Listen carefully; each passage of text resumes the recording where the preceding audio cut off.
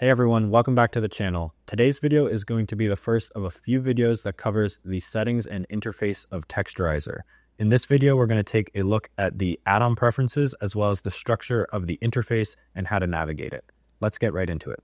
If you are looking to install and get started with Texturaizer, please take a look at the video description for a link to that video. Here I have a Blender file open. I'm going to hover my mouse over the 3D viewport here and press N on my keyboard that's going to open up this side panel in which I can navigate to my texturaizer panel.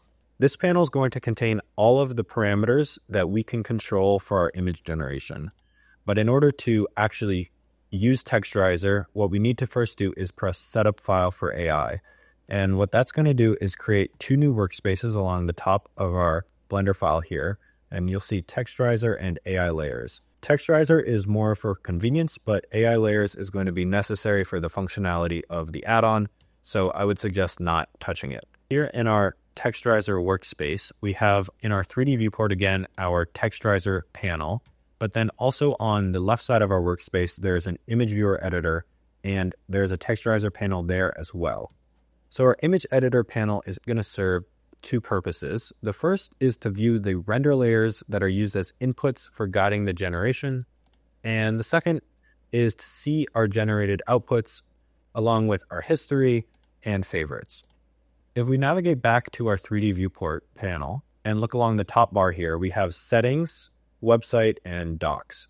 So our settings is going to open up our user preferences for Texturaizer, and let me expand that here. Along the top of the preferences, there's three links the Texturaizer site, our written documentation, and then the ComfyUI GitHub repository for the Texturaizer nodes. So if you haven't checked out the documentation and you're having an issue or you're trying to figure out how to do something with the plugin, this is a really great place to start. If I click on one of these, this lays out in a lot of detail what every single button does in the panel. So either come back to this video or definitely check out the documentation. Back in our preferences below the links, there's check for updates.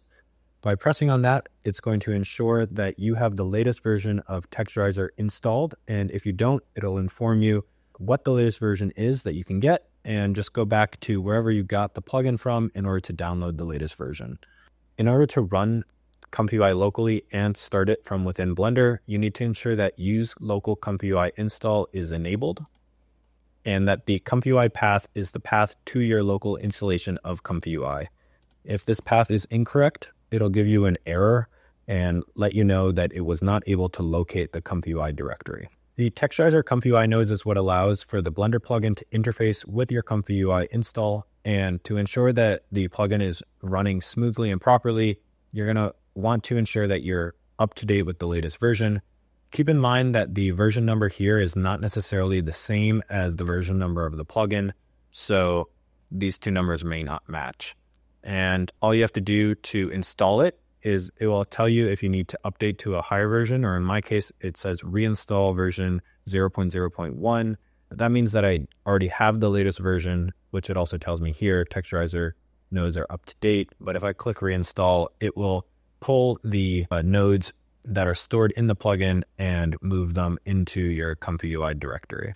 Below there, there is a warning that says to use certain workflows, additional ComfyUI node packs are required. These node packs, similar to Texturaizer ComfyUI nodes, are additional packages that add functionality to the base ComfyUI install. For the time being, the SD Complete workflow and Texturaizer Flux workflows require additional packages, but in the future, as new workflows are added, new requirements may be added as well. So come back here after updates to see if there's any of those. So these packages here need to be installed manually. And by clicking on the links provided, it will bring you to the corresponding GitHub repos. In this case, ComfyUI IP Adapter Plus. And if I scroll down, there's a great installation guide already here. So It'll walk you through how to download the repository to your custom nodes directory, as well as the models that you need to download in order to use that. And for Texturaizer Flux, it will require ComfyUI GGUF nodes. And again, if you install, in order to install those, just scroll down and there is uh, information on that here. Below there, we have recommended starter models. And by expanding this, The first thing you see is a warning letting you know that these are large files. And the reason for that is they are going to take some time to download. So by clicking on each of these buttons, it will download them directly to the corresponding Comfy UI directory. In this case for SD 1.5, and in this case, it's SDXL models.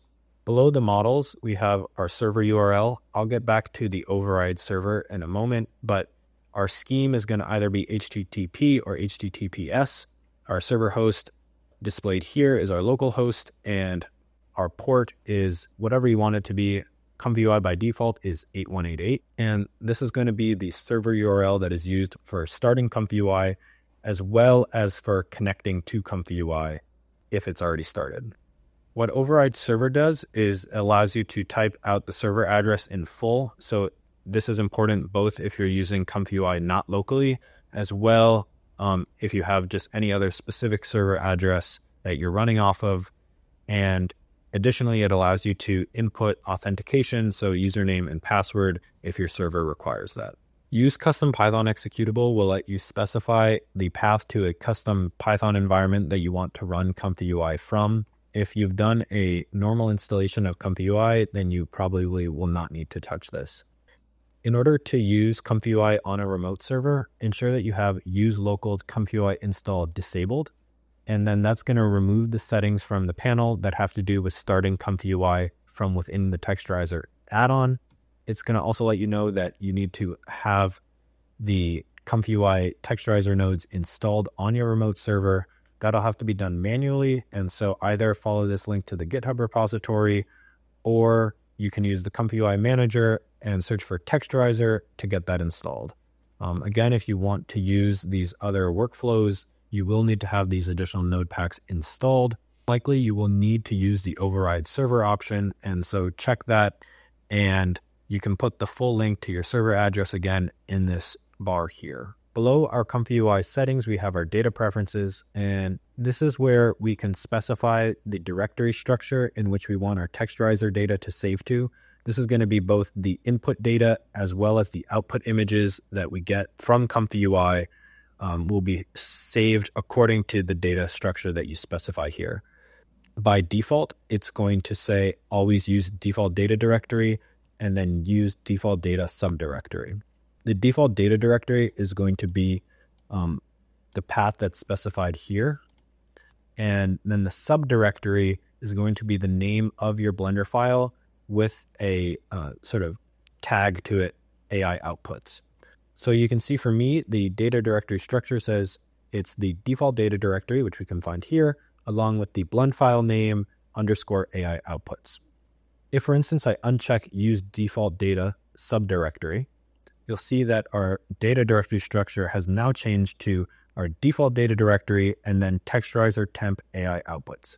This means that no matter what Blender file we're working in, it will save and overwrite the data um, in this directory here. Now, even if you have this checked, if you're working in a Blender file that's not saved, it will save that data to this temp directory as well. If you would like to not use the default data directory, uncheck this option here, and now the data will instead save specific to the blend file path. So wherever your blend file directory is, it will then save under, again, the name of your blend file underscore AI outputs. Open here, I have the data directory of this current Blender file. And the structure of this directory has three folders. The first is our data, and our AI data JSON file is going to contain the information that's captured by our texturaizer panel here. The image layers folder is going to have the render passes that are exported from Blender and again that are used from, uh, within ComfyUI. And then our output images is going to contain our most recently generated images, as well as a history of all the images we generated within that file. Now, back in our preferences, this embed data option is going to be critical if you are using ComfyUI from a remote server. And you'll notice that if I disable use local ComfyUI install, that will automatically get selected it is going to package the data that is captured within the texturaizer panel and these re- base render layers and send those to the remote server.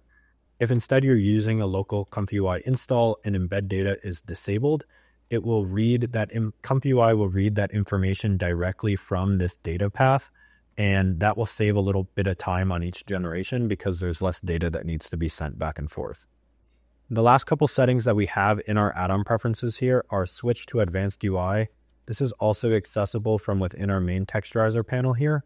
And I'm going to cover what that allows you to do in the next video, but it essentially is going to give you more fine-tuned control over the parameters for your generation. And then this additional custom workflows directory is going to let you specify a path in which you've stored additional workflows that you'd like to use within Texturaizer.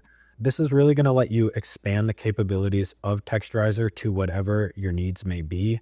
And in an upcoming video, I'm going to walk through how you can use the Texturaizer nodes in order to build out a workflow that utilizes the data um, from within Texturaizer. So keep an eye out for that if you're interested. So that covers everything in our add-on preferences. And before we wrap up this video, I'm going to just cover the settings at the top of our texturaizer panel here. So again, this is our settings button and it will open directly up our add-on preferences. We also have again links to the website and documentation. Below there, we have save and load parameters. This is going to let you save specific presets of your texturaizer settings for later use.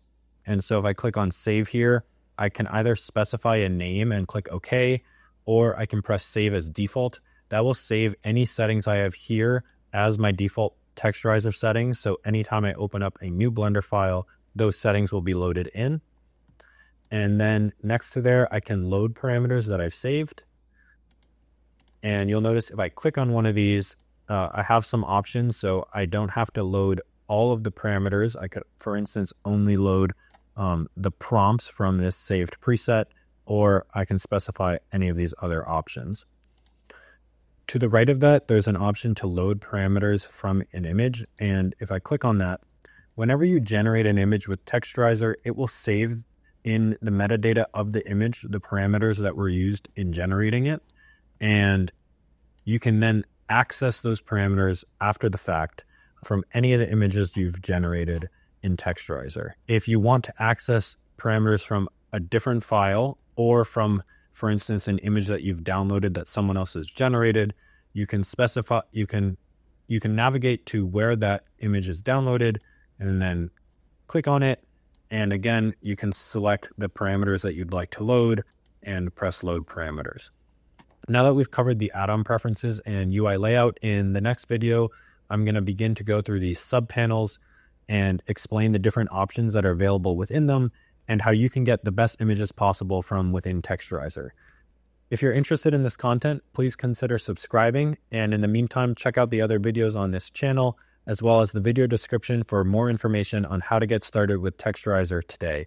Thanks so much for watching and have a good one.